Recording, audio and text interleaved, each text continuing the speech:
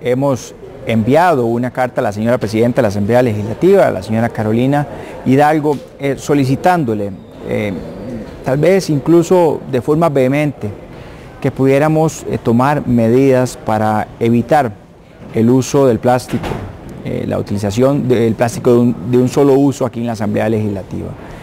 aunque han habido algunas importantes intenciones, eh, aún se sigue, se sigue utilizando y esto es porque nos llegan a las oficinas em, los tenedores, los, platitos, eh, los vasos y eso eh, no está bien. Si tenemos la vocación de caminar hacia la eliminación del plástico de un solo uso, si el gobierno de la República tiene también como política em, al 2021